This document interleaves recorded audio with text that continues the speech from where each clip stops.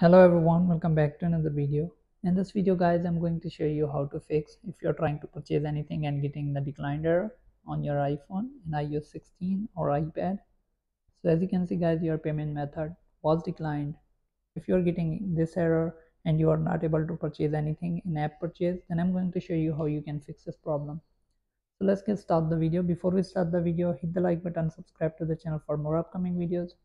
So first of all what you're gonna do is click on your iPhone setting scroll down click on general click on language and region then simply click on region and make sure that you select the region where are you living right now. So if you're living in any other country and you have selected United States make sure that you select the, that country.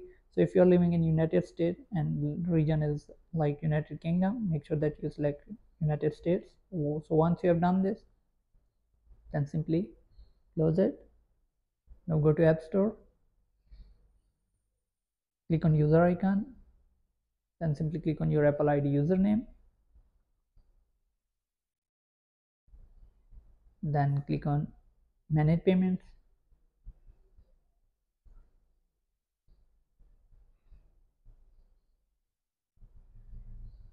Then click on billing address. And make sure that you change the name then enter the billing address.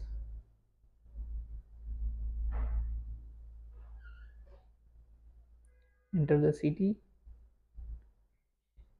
then enter the credit card CVV code again. Then click on done